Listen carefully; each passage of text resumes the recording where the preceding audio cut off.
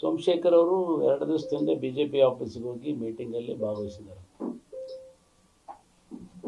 B J P Bommai ಅವರು C T Ravi ಅವರು, ಪ್ರಹ್ಲಾದ್ ಜೋಶಿ ಅವರು, ಅವರೆಲ್ಲ ಇದ್ದಾಗ ಹೋಗಿ ಭಾಗವಹಿಸಿದ್ದಾರೆ. ನಾನು ಕೂಡ ಮಾತಾಡಿದೆ ಸೋಮಶೇಖರ್ ಅವರಿಗೆ. ಅವ್ರು ಹೇಳಿದ್ರು, ಇಲ್ಲ, ಆ ಥರದ್ದಿಲ್ಲ. ನನ್ನ ಕ್ಷೇತ್ರಕ್ಕೆ ಅವ್ರು ಬಂದಿದ್ದರು ಬಂದಂಥ ಸಂದರ್ಭದಲ್ಲಿ ನಾನು ಅವ್ರ ಬಗ್ಗೆ ಒಂದು ಎರಡು ಒಳ್ಳೆ ಮಾತಾಡಿದೆ. ನನ್ನ ಹಳೆ ಕಾಂಗ್ರೆಸ್ಸಿಗ. ಅದನ್ನೇ ಇವರು ದೊಡ್ಡ ಇದನ್ನು ಮಾಡಿಕೊಟ್ಟಿದ್ದಾರೆ ಅಂತ ಹೇಳಿದ್ರು. ಬಹುಶಃ ಏನಾಗಿದೆ, ಕಾಂಗ್ರೆಸ್ಸಲ್ಲಿ ಸಾಕಷ್ಟು ಗೊಂದಲ ಪ್ರಾರಂಭ ಆಗಿದೆ.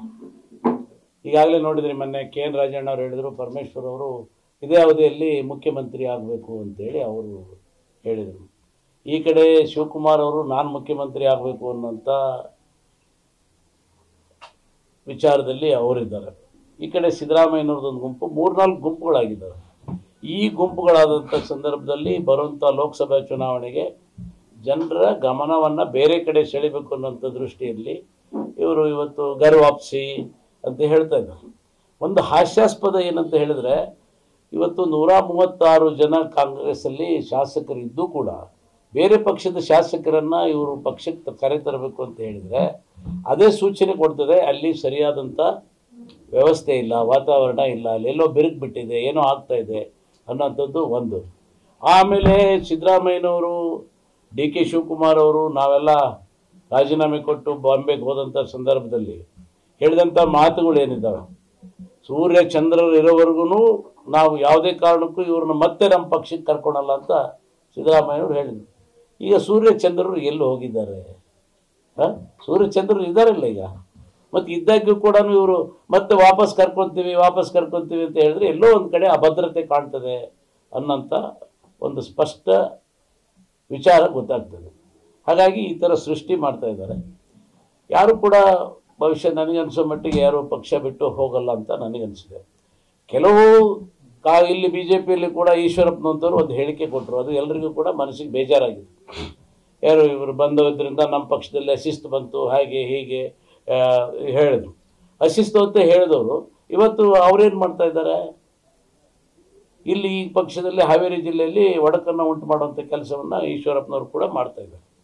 ಅವ್ರ ಮಗನ ಕೈ ಬಿಟ್ಟು, ಈಗಾಗಲೇ ಪಕ್ಷ ಯಾರಿಗೆ ಚುನಾವಣೆಯಲ್ಲಿ ಬಿ ಜೆ ಪಿ ಎಂ ಪಿಗೆ ಕೊಡ್ತದೆ, ಆ ಮಾತು ಬೇರೆ.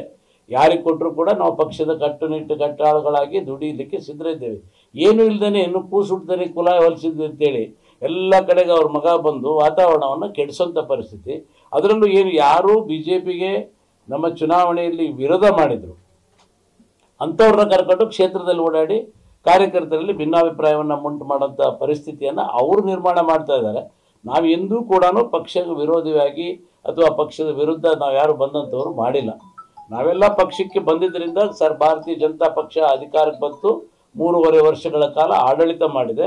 ಇವತ್ತು ಬ ಒಳ್ಳೆಯ ಆಡಳಿತವನ್ನು ಕೊಟ್ಟು ಅಭಿವೃದ್ಧಿಯತ್ತ ಹೋಗುವಂಥ ಕೆಲಸಕ್ಕೆ ನಾವು ತಳಹದಿಯಾಗಿ ನಿಂತ್ಕೊಳ್ಳುವಂಥ ಕೆಲಸವನ್ನು ನಾವು ಮಾಡಿದ್ವಿ ಹೊರತು ಬೇರೆ ಯಾವುದು ಮಾಡಿಲ್ಲ. ಈಗ ಈ ಥರ ಕೆಲವು ಹೇಳಿಕೆಯನ್ನು ಅವ್ರು ಏನು ಕೊಟ್ಟರು ಆ ಹೇಳಿಕೆ ಯಾರೇ ಒಬ್ಬ ದೊಡ್ಡ ಬಿ ಜೆ ಪಿ ನಾಯಕರು ಖಂಡಿಸಲಿಲ್ಲ ಅದನ್ನು. ಈಶ್ವರಪ್ಪ ಹೇಳಿದ್ದು ಸರಿಯಲ್ಲ, ಇವರೆಲ್ಲ ಬಂದಿದ್ದರಿಂದ ನಮ್ಮ ಪಕ್ಷಕ್ಕೆ ಒಳ್ಳೇದಾಯಿತು ಅಂತೇಳಿ ಯಾವ ದೊಡ್ಡ ನಾಯಕರು ಪಕ್ಷದ ಅಧ್ಯಕ್ಷರು ಹೇಳಿಲ್ಲ, ಪಕ್ಷದ ಉನ್ನತ ನಾಯಕರುಗಳು ಕೂಡ ಹೇಳಿಲ್ಲ. ಹೀಗಾಗಿ ಸೋಮಶೇಖರ್ ಅವರು ಕೂಡ ನನ್ನ ಮನಸ್ಸಿಗೆ ಬೇಜಾರಾಗಿದೆ ಅಂತ ಹೇಳಿದರು. ಈಗ ಅದನ್ನು ಸರಿಪಡಿಸುವಂಥ ಕೆಲಸ ಆಗ್ತಾ ಇದೆ. ಇವತ್ತು ಆ ಥರ ವಾತಾವರಣ ಏನಿಲ್ಲ ಇಲ್ಲ. ಯಾರು ಹೋಗೋಂಥದ್ದು ಇವೇ ಹೋದ ತಕ್ಷಣ ಇವ್ರು ಯಾರನ್ನೂ ಮಂತ್ರಿ ಮಾಡಲ್ಲ ಅಲ್ಲಿ.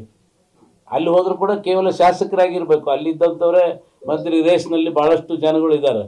ಇವರು ಹೋಗಿ ಅಲ್ಲಿ ಮತ್ತೆ ಶಾಸಕರಾಗಿ ಅಥವಾ ಅನುದಾನಕ್ಕೋಸ್ಕರ ಹೋಗುವಂಥ ಅವಶ್ಯಕತೆ ಇಲ್ಲ. ಈಗ ಒಬ್ಬ ಶಾಸಕನಾಗಿ ಒಬ್ಬ ಮುಖ್ಯಮಂತ್ರಿ ಹತ್ರ ಅನುದಾನಕ್ಕೆ ಹೋದರೆ ತಪ್ಪೇನಿಲ್ಲ. ಈಗ ಅವ್ರ ಕ್ಷೇತ್ರದಲ್ಲಿ ಹಲವಾರು ಸಮಸ್ಯೆಗಳಿರ್ತವೆ, ಹೋಗಬೇಕಾಗತ್ತೆ. ಹೋಗ್ತಾರೆ, ಅನುದಾನ ಕೇಳ್ಬೋದು. ಎಲ್ರಿಗೂ ಕೂಡ ಹಕ್ಕಿದೆ. ಚುನಾವಣೆವರೆಗೂ ಮಾತ್ರ ಪಕ್ಷಗಳು ಹೊರತು ನಂತರ ಸರ್ಕಾರ ಬಂದಾಗ ಪ್ರತಿಯೊಬ್ಬ ಶಾಸಕನಿಗೂ ಅವನ ಕ್ಷೇತ್ರದ ಜವಾಬ್ದಾರಿ ಇರ್ತದೆ. ಆ ಜವಾಬ್ದಾರಿಯನ್ನು ನೀಗಿಸ್ಬೇಕು ಅಂದಾಗ ಮುಖ್ಯಮಂತ್ರಿ ಹತ್ರನೂ ಹೋಗಬೇಕು ಸಂಬಂಧಪಟ್ಟಂಥ ಮಂತ್ರಿಗಳ ಹತ್ರನೂ ಹೋಗಬೇಕು. ಹಾಗೆ ಹೋಗಿರ್ಬೋದು. ಅದನ್ನೇ ಅವರು ಕೂಡ ಹೇಳಿದ್ದಾರೆ.